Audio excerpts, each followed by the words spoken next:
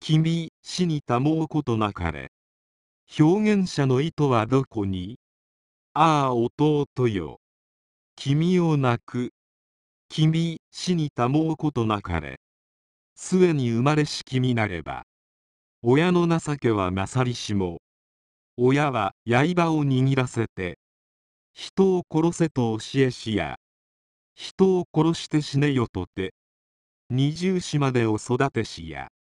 堺の町の空き人の旧家を誇る主にて親の名を継ぐ君なれば君死にたもうことなかれ旅順の城は滅ぶとも滅びずとても何事ぞ君は白地な空き人の家の掟になかりけりよさのあき子あまりに有名な詩でね与謝野明子の名を三千と歴史に刻んでいる。日露戦争の当時、言論が活発になっていたとしても、ここまで思い切って表現するのは並大抵ではない。それも、今のおばさんたちのように言いたいことを言うというレベルではない。ここには、巧妙高知な作為があるように思える。国を挙げての日露戦争だ。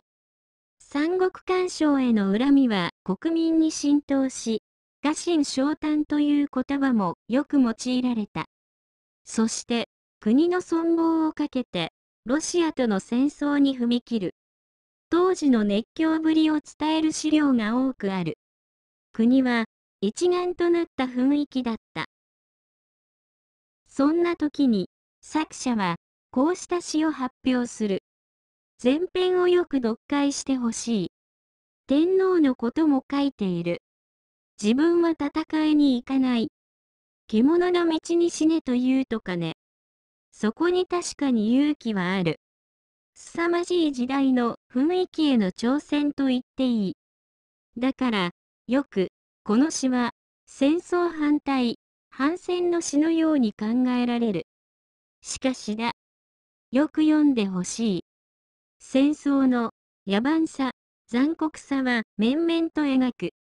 しかし、戦争をやめて帰ってこいとしか語らない。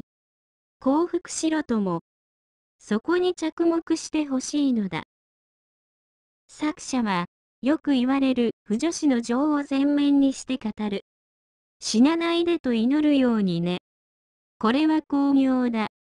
国民の大半の心情、本音を代弁している。言うに言えないでいる情なのだ。それをまとう。素朴で率直な心情。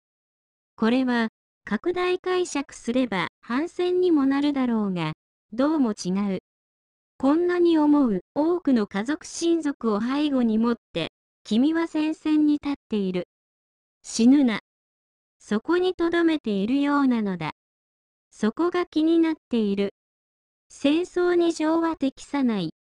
逆に情すら動員される。その情のために、さらに死に物狂いで戦えと利用すらされる。表現者の意図は、果たしてどこにあったのだろう。君はどう読解するかな？